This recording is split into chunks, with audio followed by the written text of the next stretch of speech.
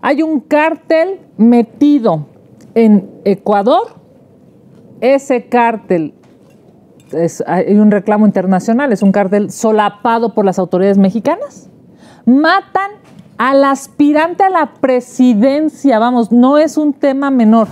Tenemos muchísima agenda, ¿les parece que empecemos? Sí, Empezamos. Yo, yo, creo que hay que empezar platicando un poquito de los temas internacionales, esto, esta, Para poder ir a esta lo cosa nacional. abominable que pasó en, en Ecuador. en Ecuador, un, un- pues, es un magnicidio, hay que decirlo con todas sus letras, con varias líneas de investigación, pero una muy, muy contundente, eh, la que tiene que ver con las amenazas que había recibido el candidato presidencial Villalpando del cártel de Sinaloa.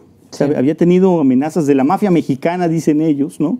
La realidad es que también había vertido críticas muy severas sobre el régimen de eh, Rafael Correa, que, que son, pues, es... eh, El opositor, claro. el- el- como el aliado, digamos, del castrochavismo en América Latina. Y el presidente López Obrador que no se animó a condenar el ataque que... que El presidente mexicano. Mexicano, El- López Obrador, no, no, no no se... Dijo que había que esperar porque había muchas líneas de investigación y que él no se aventuraba a decir nada. Pues nada más lamenta las Y cosas, ya, Pero, lo pues, lamentas y nada más, independientemente de pero dónde... coincide mucho que ni él, ni Alberto Fernández en Argentina, ni, Claro. ni Maduro, ni toda esta línea, ni Daniel Ortega, eh, se aventaron este, pues, alguna condolencia, algún mensaje contundente. Pero vamos a ver este video de, eh, eh, Villalpando. eh, de Villalpando en Ecuador. Nuestra patria es la mayor víctima de las operaciones criminales de las mayores mafias de narcotraficantes del mundo. Pero esas mafias y esos carteles no son ecuatorianos. No es que florecieron en el hermosísimo pueblo de Chone o en Esmeraldas. No, señores. Las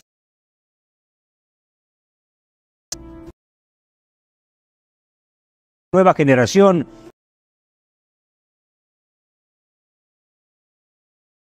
grandes carteles no nacieron en este país de paz. Nosotros no vamos a permitir que el crimen organizado, manejado por estas escuelas de sicarios, de criminales de la droga de Colombia y México, sigan cobrando víctimas inocentes en esta patria.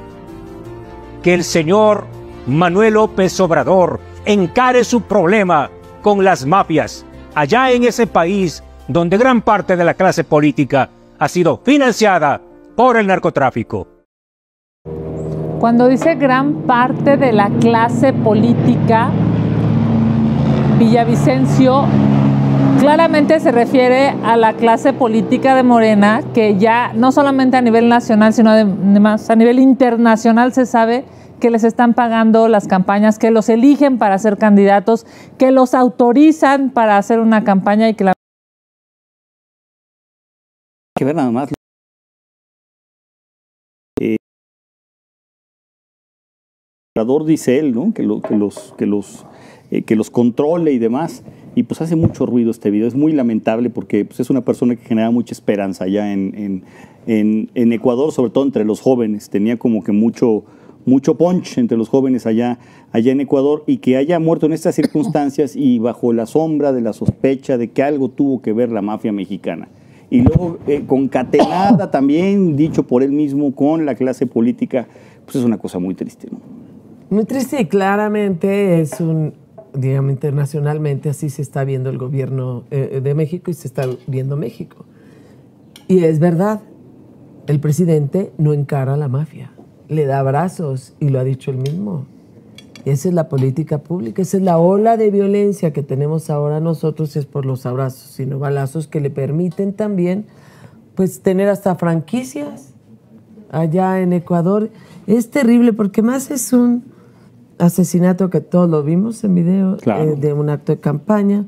Este, y luego al asesino lo matan en custodia las autoridades Sí.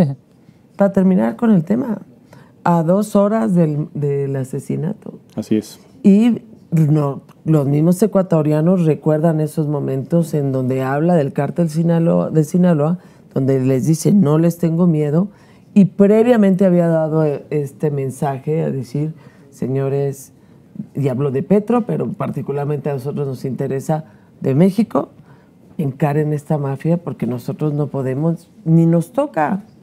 Y entonces realmente es una enorme preocupación de los, las grandes tragedias de, que tenemos ahorita en nuestro país por el difícil punto de regreso. Es un gobierno que no enfrenta, es un gobierno cobarde frente al crimen organizado.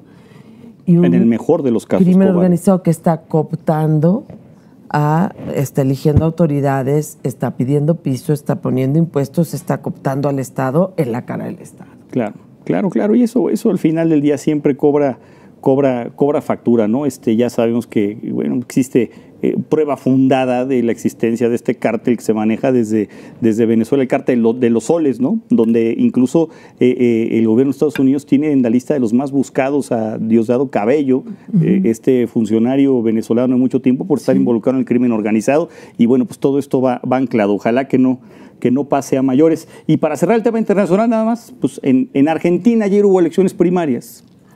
Eh, son las primarias para elegir candidatos de, los partidos, de las, de las alianzas. Lo interesante es que en la votación global las dos fuerzas opositoras sumadas tienen más del 60% de los votos, ¿no? Y, el, y, el, y, la alianza eh, del partido de los, de los Kirchner, pues, del, del peronismo, eh, exactamente, se queda con 30% nada más. ¿no? Un ah, es que están sufriendo una, crisis económica brutal, ¿no? Por culpa de ellos. de ellos mismos, responsables. Porque así es esa izquierda populista, porque creo que es importante, así es el populismo y está en una crisis enorme, Argentina, y por supuesto, pues se va incluso polarizado también, en unas elecciones primarias que ojalá un día tengamos. No, hombre, sería sensacional tener un sistema. Todos votan al mismo tiempo, el órgano electoral hace ese padrón y todos votan al mismo tiempo, entonces tú siendo del peronismo no puedes votar en esto, los libertarios no Puedes votar en una, en una, en un partido o en una alianza nada más, el mismo día, al mismo tiempo, y así no, no hay de que achuchita la bolsa. Que la corcholata que no hable con fulano y que diga por allá y que el número que pensaste, pero no debatan entre ustedes. No. Ahí hay una elección primaria y se acabó. Oye, la primaria y ya después tocará la Yo quisiera nada más, antes de, pasar eh, el tema de Ecuador, sí hacer una reflexión verdaderamente preocupante. A ver, hay un cártel metido en Ecuador, ese cártel hay un reclamo internacional, es un cártel solapado por las autoridades mexicanas. Matan al aspirante a la presidencia, vamos, no es un tema menor. Aquí en México tenemos 150 mil asesinatos, todos, cada uno vale en su justa proporción de dignidad humana. Todos, cada uno de 150 mil. Pero estamos hablando en Ecuador que mataron a quien quería dirigir la nación. Reclaman. Y era el opositor. Claro, reclaman además por que este tipo de discursos que acabamos de ver, en donde el aspirante a la presidencia dice, pues estos cárteles mexicanos, que por supuesto están inundando también su nación, y él trata de defenderse y los, les pone nombre y apellido, digamos, ¿no?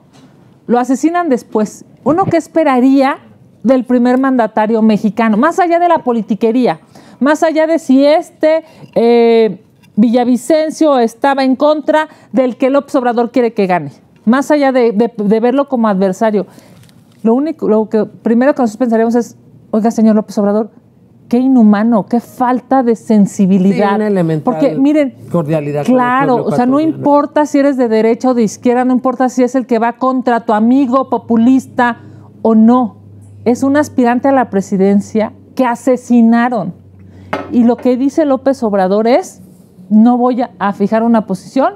No, oiga, unas condolencias. No, nada. Un, un, un que se investigue y que se sancione a los delincuentes y a los criminales. Le sentencia, le pedimos una condolencia. Incluso si hay una eh, investigación para el cártel mexicano, que se haga la investigación objetiva y si es así que se sanciona. Eso es lo, mínimo que esperarías. quiere, tapar la posibilidad de que haya habido involucrado algún cártel del crimen organizado por allá.